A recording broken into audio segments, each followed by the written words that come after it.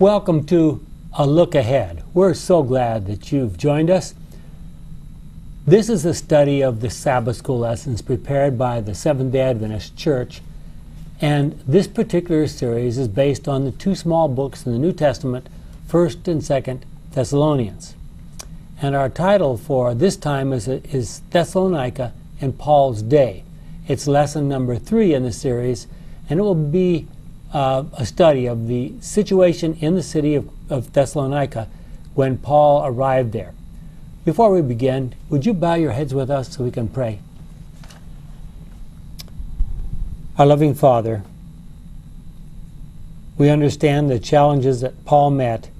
We try to imagine what it would have been like just to launch yourself into a new culture, um, a relatively new language, a new society, uh, Paul just not even knowing what to expect next, places he had never been before, and yet with a burden on his heart for the people who lived there and how he could reach them with the gospel. So, in this lesson, we will try to uh, ask your guidance to show us how we can better reach out to people perhaps that we may not understand so well. May that be our learning experience today as our prayer in Jesus' name. Amen. This lesson is quite unique in the way of Seventh day Adventist Sabbath school lessons because it's basically not based on a passage of Scripture, although we will quote some from Scripture, but it's primarily talking about the historical backgrounds that we can dig up archaeological evidence, uh, other evidence uh, to help us understand the situation in Thessalonica. We hope that you will find this helpful because it will be background material for what we do the rest of this 13 se- series. Um, we will attempt to understand what was influencing the Thessalonians, Nicans or the Thessalonians at the time, and how it might have influenced the spread of the gospel in that place. And just to get an idea of Paul's attitudes, of course, he's the one who wrote this book, we need to look at 1 Corinthians 9, verses 19 through 22. I am a free man, nobody's slave. This is Paul talking.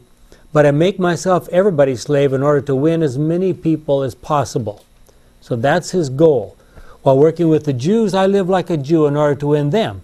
And even though, I, even though I myself am not subject to the law of Moses, I live as though I were when working with those who are in order to win them.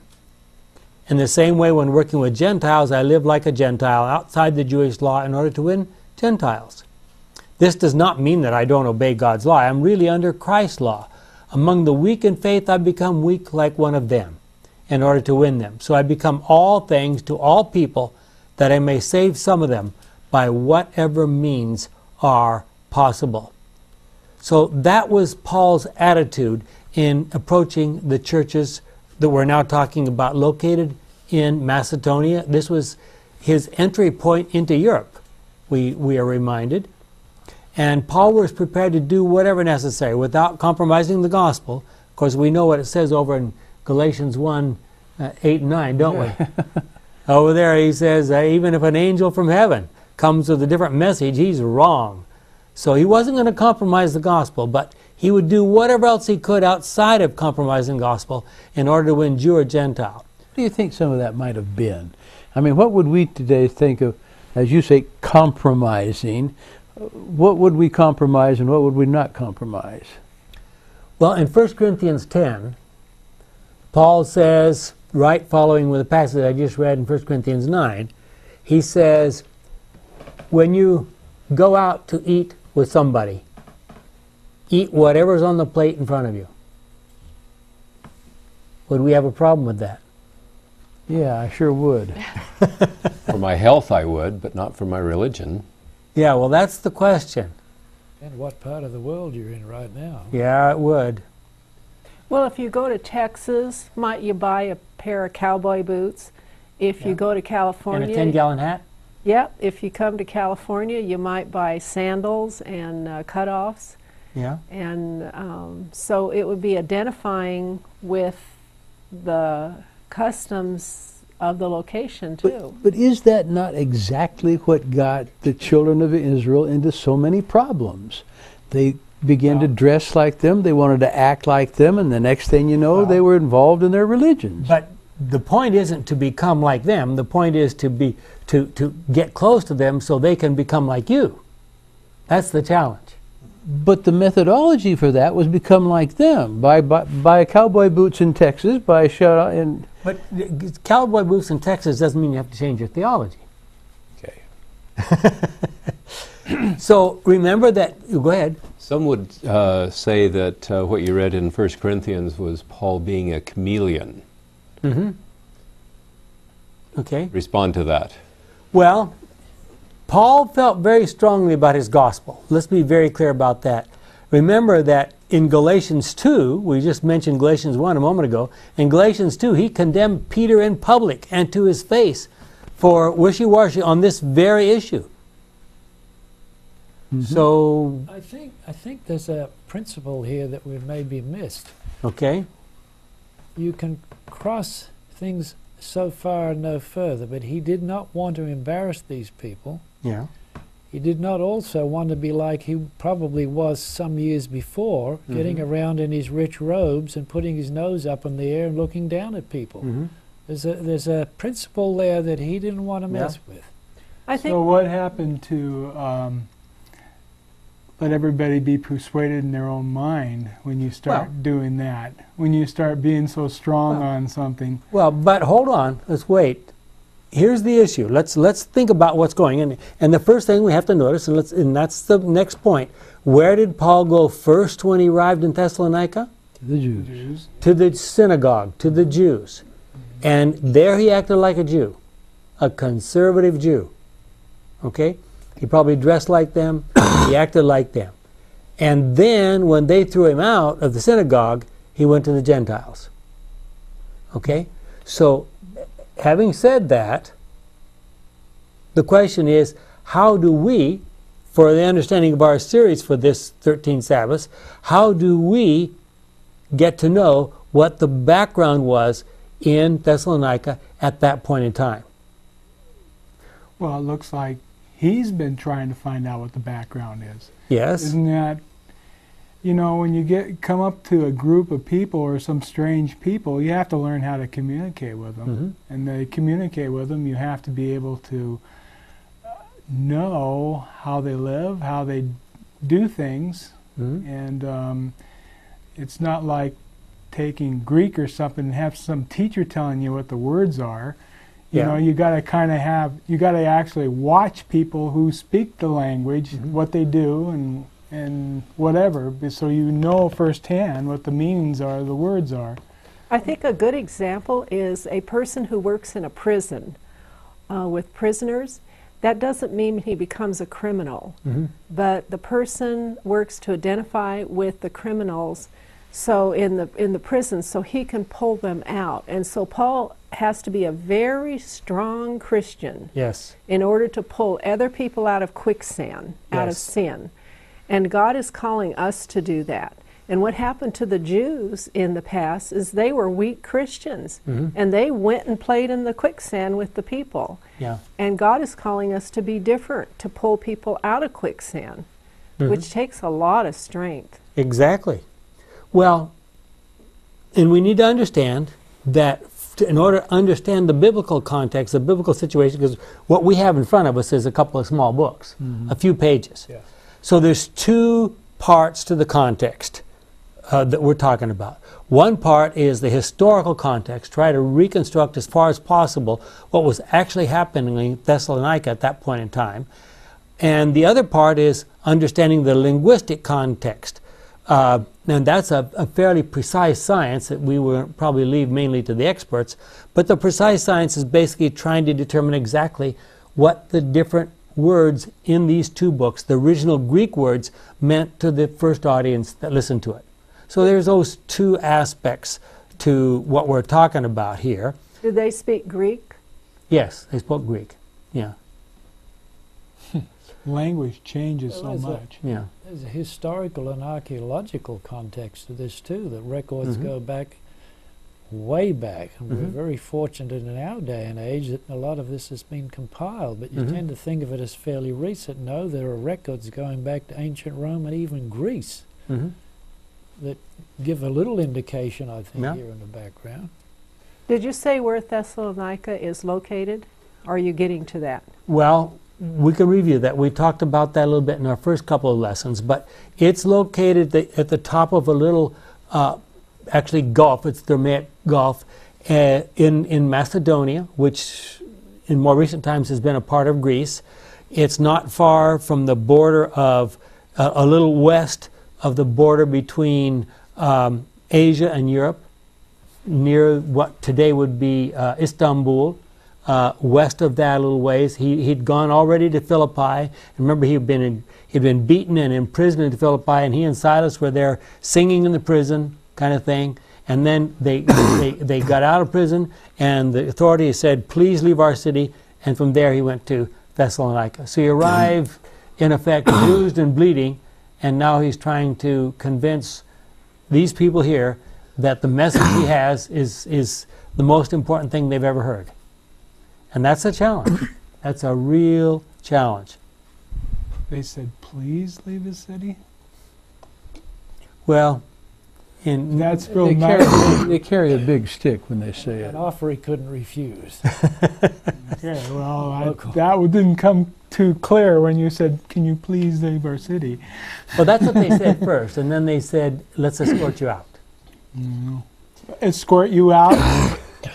Which that door did still you sounds a little bit nice. which door did you come in? Let me help you out. Um, but the purpose of this lesson isn't so much to understand Paul's thinking. That'll be what we're trying to do for the rest of the quarter. The real purpose of this lesson is to try to understand what the Thessalonians were thinking when they uh, heard Paul's message and what was their background. Um, and and for, for someone who's approaching a, a new culture, a new situation, a new city, Paul recognized that one of the biggest challenges he's, he's going to face is, is not just convincing them of the truth of the gospel. The biggest challenge might be convincing them the, of the non truth of their current beliefs. It's very often the case that it's more difficult to get people to unbelieve the wrong ideas they have than it is to get them to believe the right ideas. So that would be the next point. Look at, look at John 11 48 to give us a little feel for how things were under Rome in those days. Were these people Greek citizens? Were they? They were Greeks. It, it was a fairly uh, consistent culture. I mean, uh, Well, Thessalonica. it wasn't a melting pot. Not well, a little bit.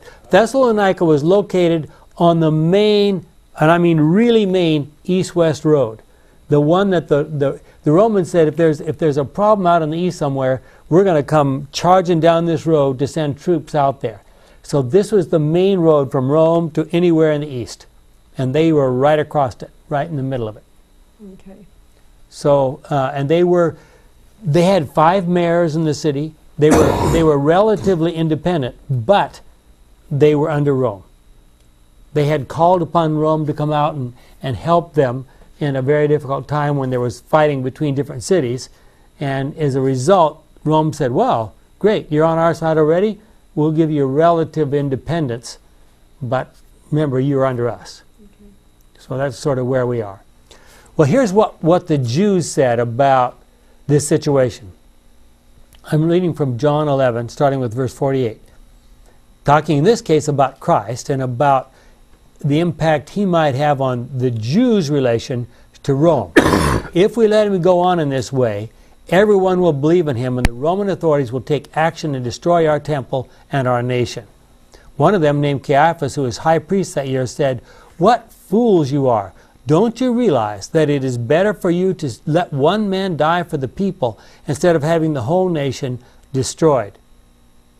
So, what's he trying to imply there? He's really saying, "You need to have one man die so we don't lose our power." Well, and, and that's certainly true.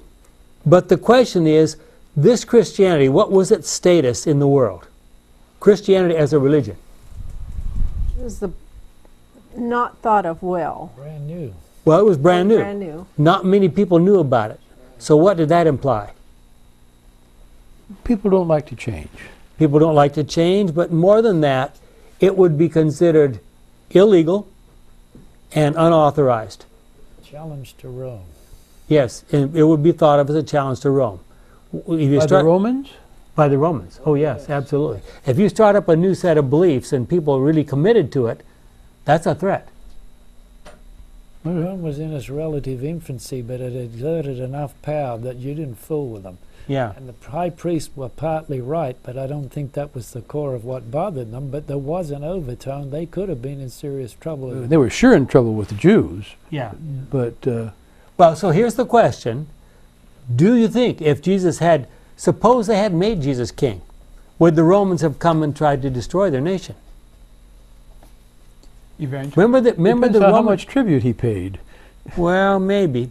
Remember, the Romans' policy was this: if a religion is a national religion, okay, so long as they didn't, you know, stir up too much trouble, leave them alone. Christianity is a brand new religion; it cannot claim any national heritage. It's something new.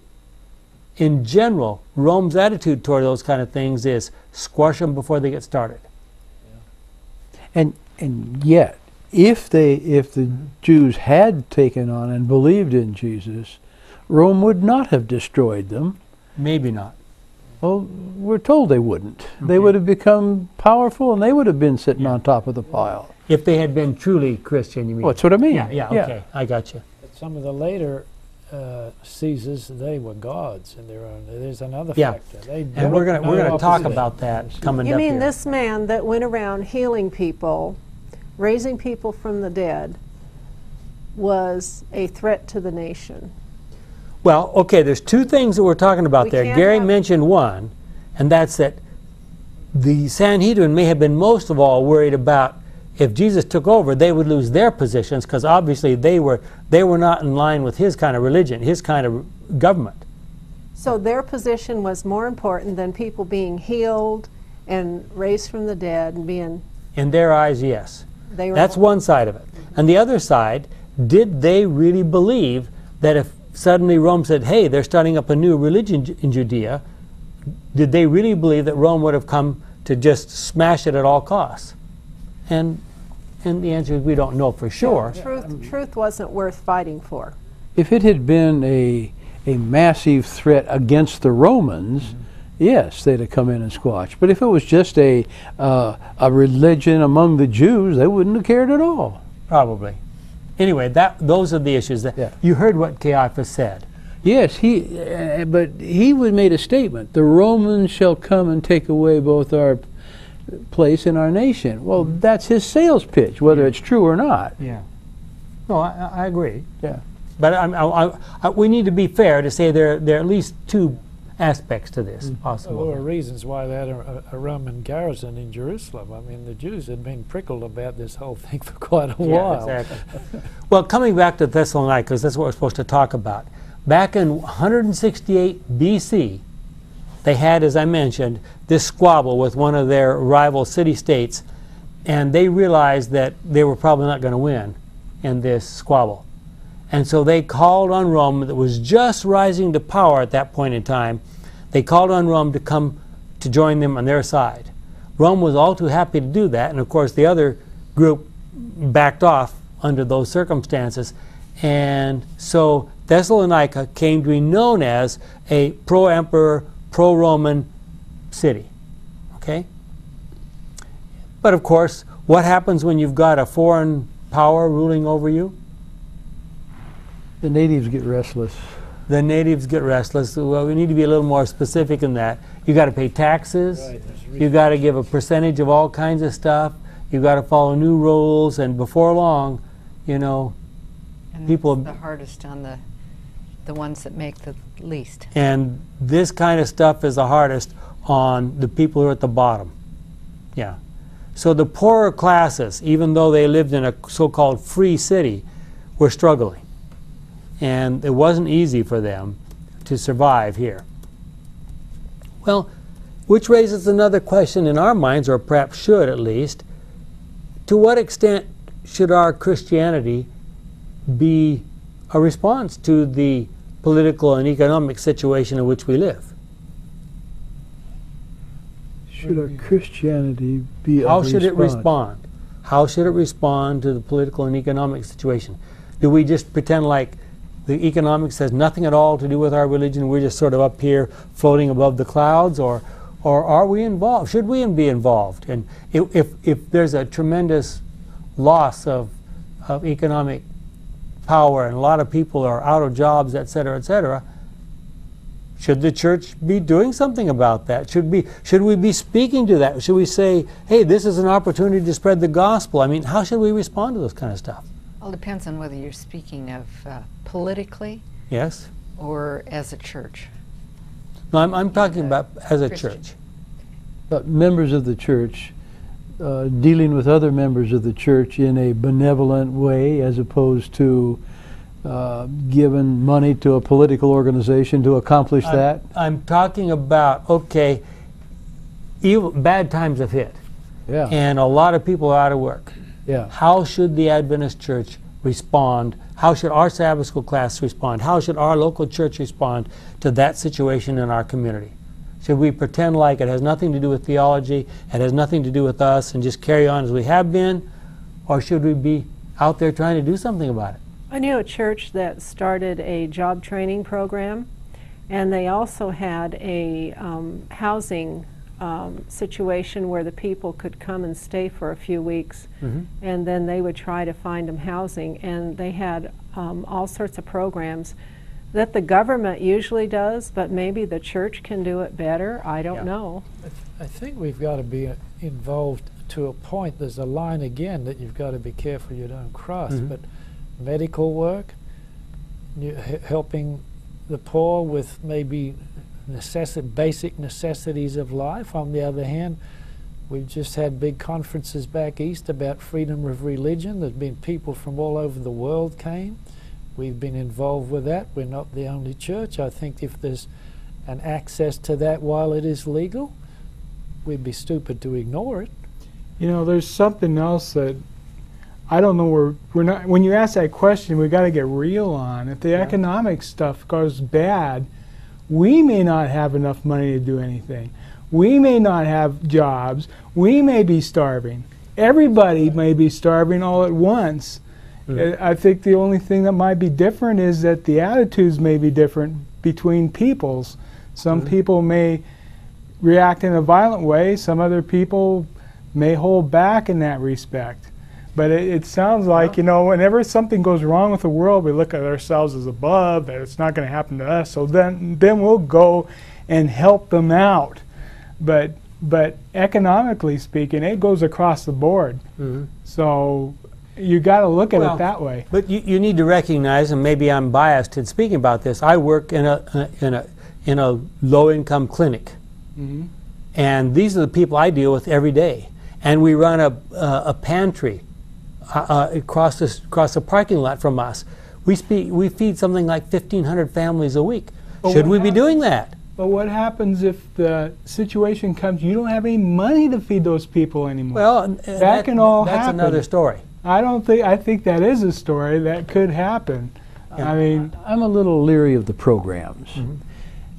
I would rather see each of the individuals of the church have a commitment to anybody they meet, to their neighbors, as as selfless, helpful, mm-hmm. with and and not substitute that for a church or a state or a city organizational thing because what what it seems to be at this point in time is that we have all of these organizations with their programs and we get the idea that well we can give some money to that thing and that takes care of our of our Yeah. duty and I don't think that's right mm-hmm. Yeah, we would be much better. There's no question about it. The church would be much better off if each one of us individually that's were right doing that. Now, and we Yep. could do that whether times are tough or whether they're not the, well, the, the, the, the down to local the question of whether you, do you want to still do what's right or not. I think. I mean, I mean that's the big thing. No matter what the economic, What, what's Yeah. doing what's right? well, do what's right because it's right. I think in the Mm-hmm. Right? final analysis, it's all over, we are all going to be reduced to the level of what Paul was trying Mm-hmm. to organize back then. Church members helping church members. I think that's right. We, I partly we, agree with you, but I think not everybody can necessarily go door to door. I think Yeah, that's for part of the people problem. that've got funds, you can put funds in good places. You've got to be careful. It's what you do with money, not the fact you've got it. I think there's a lot we can do. We can uh, teach people how to grow things. We can teach people how to cook good beans and rice and cheap food. Uh, we can te- teach people how to take care of some medical needs Yes. uh, without having to run to a doctor. So these are things that we, we are always reading about, and yes, we know how to do them and stuff, but really, do we share them? Okay, we need to come back to Thessalonica. Okay. Thessalonica had its own religion as a city. This religion was known as the Kabirus cult. Kabirus was apparently a young man who spoke up for the disenfranchised, poor, and powerless. For some reason, he was eventually murdered by his two brothers. Notice these comments from scholars. Kabirus was the patron god of Thessalonica, originally of manual laborers, but by the first century co opted into the civic cult, and we'll talk a little bit more about that in a moment. By the way, if you're interested in some of this material that we have dug up for this lesson, um, it will all be available as a handout that you can print off of our website at theox.org. That's T H E O X dot O R G. And you can look up the Sabbath School lessons there and download some of this material if you choose. Kabirus was a hero who had been murdered by his two brothers. His head had been crowned and wrapped in a royal purple cloth, so the legend goes, and carried on a spear point to the consecrated, uh, to be consecrated and buried at the foot of Mount Olympus, which of course was the home of the gods, by his guilt-ridden and justice-avoiding, we might add, brothers. In his honor, they established a cult for him. Sources are divided over whether the brothers took the phallus of Bacchus with them from Mount Olympus, and you're starting to see that uh, the cultures there were uh, not just um, uh, trying to honor the dead. Intermittently, Cabirus returns, this is the legend, with his full powers restored and is able to help in the manufacture of iron and the performance of manual labor, coins picture him with forge and hammer, perform magical feats for the needy, provide freedom for slaves, and empower sexual fulfillment. So you get a little idea. Kabirus worship is especially interesting. It involved an invitation and uh, initiation in special robes, confessing sins, cleansing through water baptism and symbolic immersion in the blood of the martyred God, Kabiric art, which there are still mur- murals preserved in Samothrace, portrayed dance that was lighthearted, lighthearted, Bacchic, noisy, and grotesquely phallic. Now, for those of you who don't immediately recognize those terms, Bacchus was the god of the grape harvest. Yeah, why? So you, you're talking about wine here. And of course, the phallic symbols had to do with the fact that they worshiped reproduction and sex. Uh, that was one of the main You points know, of, So with enough wine and that philosophy, it could get pretty wild. yes. But this is a human thought up religion. Yeah. So we're going to help the poor, but we're going to have an orgy while we're doing it. Yes. That's the idea. And, and we're going to call this our religion. Notice that it was believed that Kabirus would return to life from time to time to help the lower classes and bring justice to the city. This is between parties. Yes. It's a rough approximation of the crucifixion. Yeah, they also believed that he would restore the city to its earlier greatness. That gave a flame of hope to the lower classes. These kinds of beliefs might seem incredible to us, but remember that Herod believed that Jesus was John the Baptist come back to life. And in case you had looked at those verses recently, look at Mark 6. This is verse 14. Now, King Herod heard about all this because Jesus' reputation had spread everywhere. Some people were saying John the Baptist has come back to life. That is why he has this power to perform miracles. Others, however, said he's Elijah. Others said he's a prophet, like one of the prophets long ago. When Herod heard it, he said, John, He is John the Baptist. I had his head cut off, but he has come back to life. Does that sound at all like what I just read to you about the Kabirus cult? But- very, very similar. This this uh, man, they don't know if he really existed or not, or if it was just a, a, a legend. Well, he, he probably, th- there was probably originally somebody by that name who existed. Of course, by the time you turn him into a, a god, uh, all kinds of things change. There must have been all kinds of rumors going around. You Yeah. Know, when they when they heard all this stuff, Sure. even even um, you know the leaders. You know during that Well, time. can't you imagine Paul going in there and saying, after, after knowing this, like he did on, on at Athens, Mhm. Where he said, "You've got this God that uh, you don't know about. Let me tell you about him." He goes in here and says, "You've got this God that does all these things, and you're waiting for it to happen. Let me tell you about how it really did it." Yeah. Well, do you think it was just an accident that the worship of Cabirus included blood sacrifices and being baptized in the blood to commemorate his martyrdom? There were a number of similar cults around the Mediterranean world in those days. They had various forms of dying and rising saviors who often spoke up for the lower classes. Sometimes they were believed to have human mothers and divine fathers and to have died martyrs' deaths, and they were expected to rise to glory at some time in the future. Does that sound vaguely familiar? Who do you suppose was behind these ideas that mimic the life and ministry of Jesus? Satanic. Was Satan trying to make the story of Jesus seem like just another pagan cult? Sure. yeah. well, he tried. You look down through the ages. There's always been blood, human sacrifice, mingling with the spirits. When we see how Satan, uh, to the best of his ability, tried to imitate the first coming of Christ, what do you think he will do as we approach the second coming of Christ? Do we have to guess? Or counterfeits. More counterfeits. There's and one. they'll be better and bigger. better and bigger. There's, it'll be worldwide this time. There's one other thing we need to note about the Cabirus cult. In the days of Caesar Augustus, now here remember this is a local religious phenomenon at Thessalonica. But in the days of Caesar Augustus, people began to worship him as a god. In the area around Thessalonica, the Romans proclaimed that, in fact, Caesar Augustus was Cabirus come back to life. Oh, So he said, "Well, you, you're looking for you're looking for your God to come back. We got him. Here he is." Just like you said, they were going to talk about Jesus, right? What a despot. Yeah, Well, we, we have to remember Augustus and Tiberius actually saddled the life of Christ and, la- and later on. So, Yep. I mean, this was very active there. Hmm. So as it turns out, the occupying authority tried to co-opt the hopes and spiritual beliefs of the people to support their cause. The common people were left without a meaningful uh, religion, but it also meant that if someone arrived claiming to be like Cabirus, he would be- perceived as an immediate threat.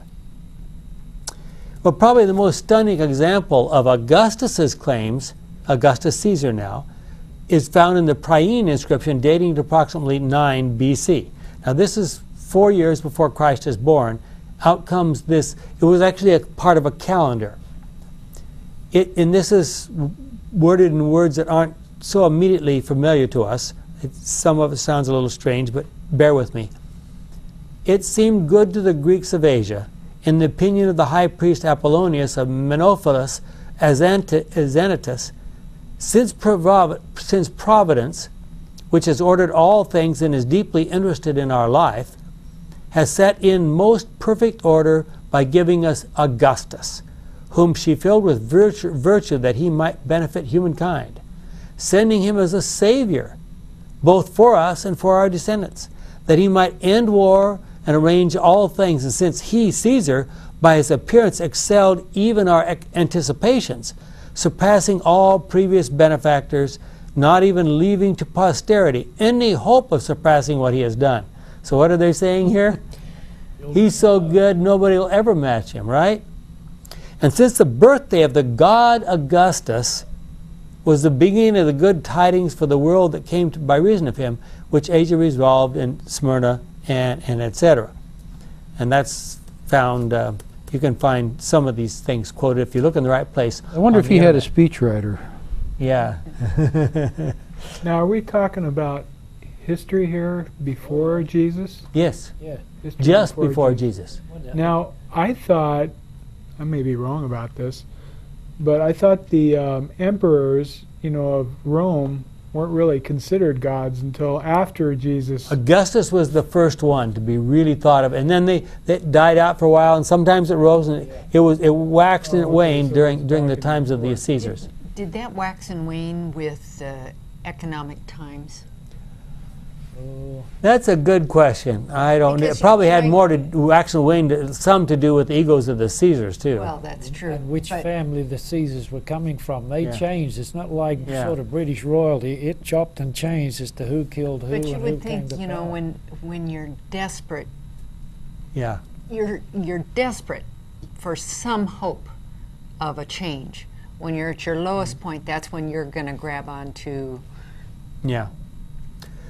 Well, By contrast, Paul was speaking, here's your point, Norm. Paul was speaking to his hearers not of fictitious so called human gods, but of a real Messiah Christ, who had really died, really rose to life, and directly provided to his followers, proved to his followers that he had done so. Jesus is no huckster. I mean, he appeared to hundreds of people. And they have witnesses of it, not just once, but many times. So he could document what he was talking He about. could document what he's talking about. See? And so I, I can imagine if you if he told them a little bit about what Jesus had done and said, yes, he really died, yes, he really rose to life, they said, voila. You know, this is what we've been looking for, right? At least they wouldn't have uh, thrown it out as totally ridiculous. Yeah. Yeah. Well, But then the question is, would would what Paul was talking about go the direction they wanted it to go? well, I mean that's one of the issues. Know, Look at 1 John 2 15 to 17. Now, this was written about 30 years after Thessalonians, and John is writing, Do not love the world or anything that belongs to the world. If you love the world, you do not love the Father. Everything that belongs to the world, what the sinful self desires, think about our Cabirus cult now, what people see and want, and everything in this world that people are so proud of, none of this comes from the Father. It all comes from the world. The world and everything in it that people desire is passing away, but those who do the will of God live forever. You know, that verse kind of confused me because don't love the world and what's in the world. I love going out into nature and the mm-hmm. wilderness, but, and God makes that. That's, so he That- means, that's not what he's talking about. that's here. not what he's talking about. what does about. world mean in that case? Is it like a domain? It means the sinful propensities, the, the sinful cultural traits of, of the people around you. Or The, right self now, ba- you know, the world- self-based motivations. Pleasures of sin. Mhm. Maybe it means the things that men make too, like cars, houses. Yeah. you know. Yeah, but it, it looks like it has a different meaning back then than it does now. Oh no, you look into the back. Because, well, well, Some of the Caesars were so gross, even their people that supported them got tired of them. I Mm, mean, yeah. they got up to all kinds of stuff. Yeah, but you know when it, When- when people start using this term "the world," you know, nowadays is it the same type of "the world" as back then? Do it was think the that world as opposed to heaven, as opposed to Christ. the world? Yeah, I mean that was I mean, that was the that was the the the symbol for all evil. the world. Yeah. It it wasn't necessarily mean the earth, No. No. though, no, right? no, no, so no. it so it's kind of an evil domain Right. Okay. type Fine. of thing. Oh, yeah. So, so uh, when people start looking at the earth and everything that's going on in the earth, it does not necessarily mean the world, because No, there's good a- happening not on a the earth in a too. religious sense. No. Yeah. Well, have you found that any of the things in this world bring real long term happiness? What is it that earthly things, why is it that earthly things do not seem to bring long term satisfaction? Does your Christianity help with this problem? What is it about Christianity that does bring real happiness? Does that have anything to do with selfishness, which is the world's approach, Satan's approach, versus love, which is God's approach? Christianity explains what's happening in the world and some of the situations. It's it's a great aid to understand what's going on. hmm It's true. Does does Christianity come to you by way of the world? No. But I'm in the world. Yeah. Well, then how did it get to me? You're supposed to be in the world, but not of the world. I know, but before that, how in the world did I get the pass so I could be uh, out of the world? Well, that's what we're talking about. How did Paul do that in the city of Thessalonica? Right? We do not know to what degree Paul understood the Cabirus cult and its implications. He probably did pretty well. But it's not hard to see how a Messiah who truly rose from the dead might excite the hopes, especially of the poor classes of people in Thessalonica. Thus, we see that in a very short period of time, the Thessalonian church was established.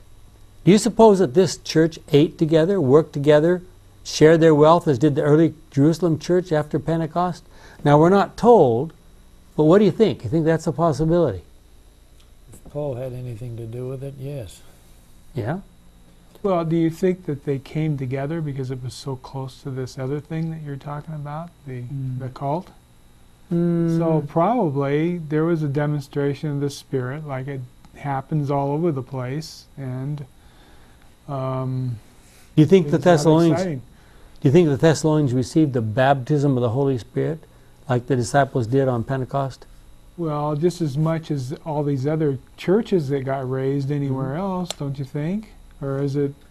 There had to be some people in there thinking, this religion isn't right. I mean, God talks to people even though they're not Christians, and you know what I see going on, and you know this cult that we have going uh, is not right. And so when Paul came and told them something, it was believable. It's like when you hear the truth, you go, "Yes, that's it." Mm-hmm. That's only if they could speak their language too. We He don't could. He could. They were really called have Greek.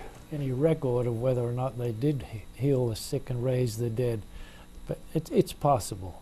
hmm Well, if we did something like that today, we're, we're trying to put ourselves back in the Thessalonian situation, but suppose the church said, We're having a potluck every Sabbath and anybody who wants can come. Would we attract loafers and lazy people? Yes, and we do. There, there's always Should we, should we stand by? it's so factual. yeah. That's always the discussion, yes, and uh, uh-huh. yeah. Should we tell people who stand by the road and ask for a handout to get to work in the same way that Paul did to the said to the Thessalonians? He said, we'll we'll get to this later on. He says, "He who does not work should not eat." I think the principle holds good, but unfortunately, it's got a little thin these days. I see. Well, clearly, one of the secret successes in evangelism, secrets of success in evangelism, is understanding the people to whom you're talking. We must learn to meet people where they are. At the same time, we must never leave our Christianity behind. And there will always be a conflict between us and our Christianity and the people and their beliefs. And the challenge about how to make that come together is, is, is the challenge of what we're talking about. Multiple experiences have shown that people are most often open, and here's, a, here's an important point people are most often open to changes in their thinking and behaviors in times of disruption or change. What kind of changes are we talking about? Economic turmoil, we've already mentioned that. Political strife, war, weddings, divorces, dislocations, even a move from one place to another. Health challenges, even death. These changes cause people to ask themselves serious questions. People find themselves in a different set of circumstances and they have to establish new relationships. Could we as Seventh day Adventists use this information to help spread the gospel? What do you think? Should we be reading the obituary columns in the newspaper and containing the families the, uh, and contacting the families of the bereaved? You know about some people do that, Joanne. A church that, that provides free uh, uh, basically funerals and so forth? Oh yes, yes. Uh, they will provide funerals for anybody who wants. Uh, Not, not the. Yeah, the pastor will do the funeral, and the ladies will do the potluck for the family. Yeah, And I think it's a wonderful ministry. They have Yeah. people in their church that have never gone to church before. yeah. Yeah. Well, what about, you know, we, I think probably all of us at one time or another have heard of the so called welcome wagon program where you welcome new people into your city. Uh, it's an organization which is intended to inform new citizens about the facilities and cultural attractions of the city to which they have moved. Well, Should you we know- be out there and say, guess what, folks? There's a church here that would like to invite you to come and join us. Well, you know, there's something basic here that I think sometimes we need to think about is that we have no right to tell someone else um, about a system like Christianity unless we know that that system is the truth and is better and helps helps people. We have to be firmly grounded in our faith and see how it helps us and how it can help others before we dare offer it to anyone. Yeah. Oh, I thought the idea was just get a bunch of people in your church. No, get a bunch we- of people there, man. Have all kinds of baptisms and count them up. no, we- Well- we need to that? wait until we're firmly grounded before we try to help somebody out. But we need to recognize, and, and this is a good point, we need to recognize that even baptism and joining a new church is a disruption in people's lives and a di- disruption of their way of thinking. Now, hopefully, it's a good disruption, but it still shakes things up. And thus, it leaves them in a somewhat unstable position, at least at first. And many of them, unfortunately, find that a little too unsettling. And, and as we know, a lot of them, in the first few months after joining the church, exit through the back door. Only to come back in again after a while. I think once once you've tasted uh, something that's good, I think uh, eventually, you know, you have to ponder do. it. hmm They don't all. Not all. Glad you're so positive. In the Mediterranean world of Paul's day, there was a proliferation of popular philosophers. The Greeks particularly loved to hear people talk, discuss, and debate. Remember the stories that you may have read about at the Areopagus or Mars Hill. It was a, almost a debating society. There were public forums. These so called street preachers, some called them, were expected to earn the right to speak by demonstrating the results of their recommendations in their own lives. Physician, heal thyself was a well known concept in their world. Okay? Look at, you know, you don't come and you're 200 or 300 pounds and say, let me, let me advertise my new weight loss program, you know? Eh, you know, There was there was a preacher on TV, and he wasn't an Adventist, and I think he was trying to get into the health message. And this man must have weighed near 300 pounds, telling people what vitamins to take, and he did not look very credible at all. Mm-hmm. So that's what I mean. You have to really be grounded in your faith. Well, physician heal himself was a major, major concept in the world of Paul's day.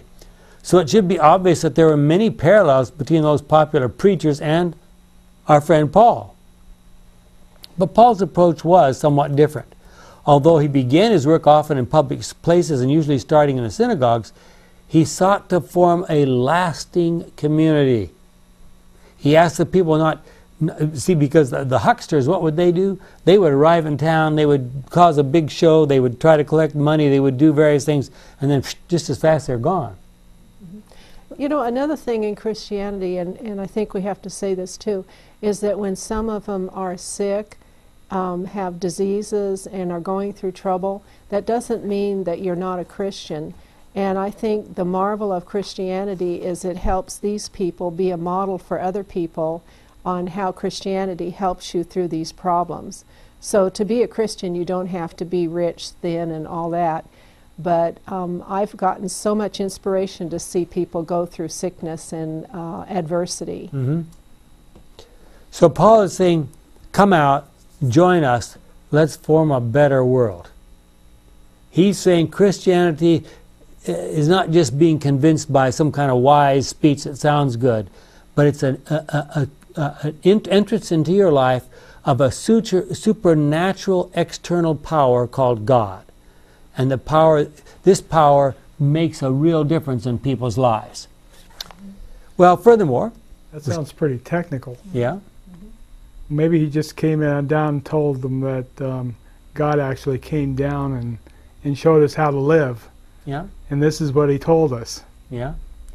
Well, furthermore, unfortunately, many of the street preachers were hucksters. Mm-hmm. Not only would they take advantage of the listeners financially, but also sometimes sexually as well. Thus, a great deal of cynicism existed about street preachers. Paul did his very best to avoid any of that type of criticism by generally refusing support from his listeners. He worked hard, sometimes working all night so he could preach all day.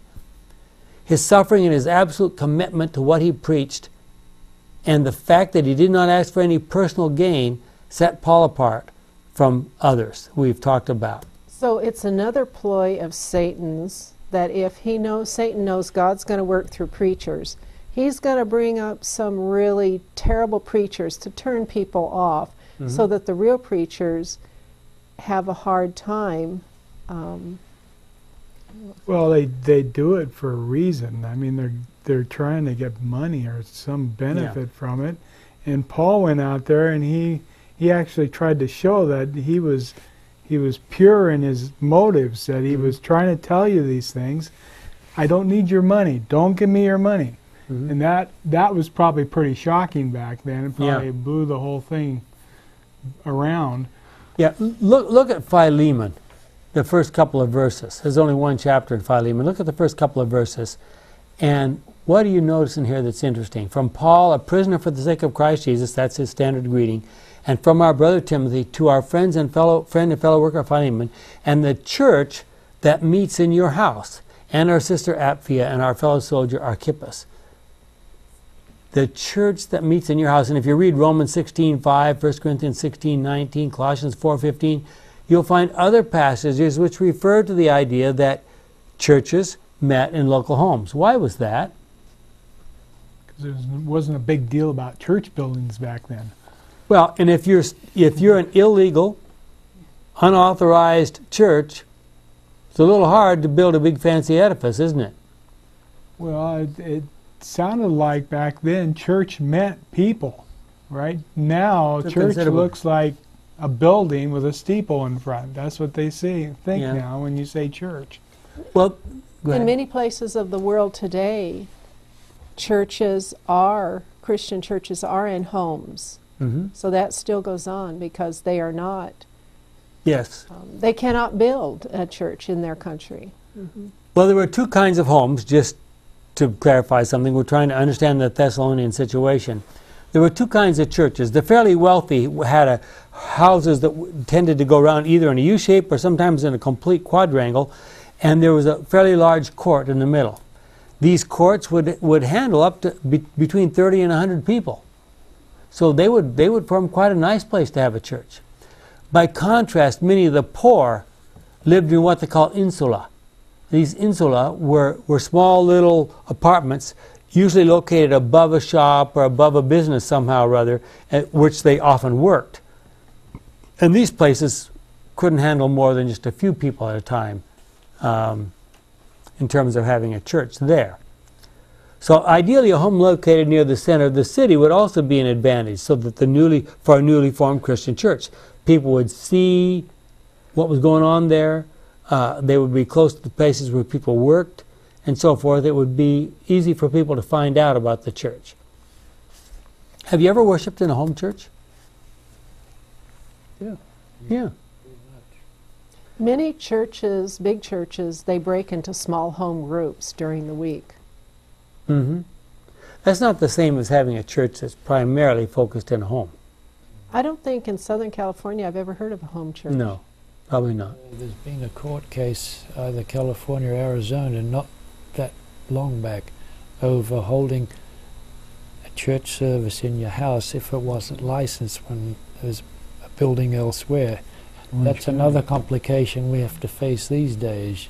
Mm-hmm. You can't always do it in every state in your house. So there's a lot of people though trying to get tax write-offs for nothing. Yeah. Well, And that's probably what what Actually, there was a thing like that in Orange County, Yeah. And the thing that- I'm of. and the thing that brought it to the attention was the cars. Yeah. And the, the neighbors didn't want the cars, so they Parked out in front of the street. yeah. Yeah. Well, we notice in Acts 18, 1 to 3, some interesting other aspects of all this. After this, Paul left Athens and went on to Corinth. There he met a Jew named Aquila, born in Pontus, who had recently come from Italy with his wife Priscilla, for the Emperor Claudius had ordered all the Jews to leave Rome. So there's one of the points at which we can sort of nail down histor- a historical fact and sort of know the timing of these things. Paul went to see them and stayed and worked with them because he earned his living by tent making by making tents, just as they did. He held discussions in the synagogue every Sabbath, trying to convince both Jews and Greeks. So here's a couple that said, Come and join us. We'll work together. We'll help mutually support each other, and we'll support the gospel. Pharisees tended to be quite wealthy. One almost had to be wealthy to be able to do all the things he he needed to do to practice Phariseeism. For example, they fasted two days a week. As a Roman citizen and a Pharisee, and later a member of the Sanhedrin, Paul was almost certainly originally fairly well to do. Did he regard working with his hands as a disgrace or something below him? Every Jew was expected, especially the males, was expected to learn a manual trade by which he could support himself during hard times. And Paul had done that, and he used it. Well, how, does, how well does our local church interact with the community? Are we part of that community in the sense of being involved? Is our church locked in a siege mentality, perhaps, in which you, we isolate ourselves from the dangers of the world so much that we don't influence this world at all? Should Adventists by foremost, be foremost in getting involved in community help projects? Or are such things just a part of the social gospel and do not have anything real impact on, on people's lives? Well, let's not fool ourselves. Presenting the gospel in a way that is attractive to a given community and meets their needs is a challenge. Do we understand them? Do we understand what the, re- the real needs are? In our, even in our community, the gospel will be most effective when it's perceived as meeting the real needs of the people. One example of Paul's meeting the needs where they were is the story of not eating meat offered to idols. And we don't have time to talk about that here, but Paul really went on a limb on that one. Uh, 1 Corinthians 8 and 10 and Romans 14 if you want to read about it. Well, how, do we, how are we doing in our day? Are we in any way like Paul, reaching into communities, trying to find out what people believe, how we can reach them, how we can reach them for the gospel? Remember, that was Paul's goal. And that's our challenge in this series of lessons, and I hope that you found our stuff today worthwhile. See you next week.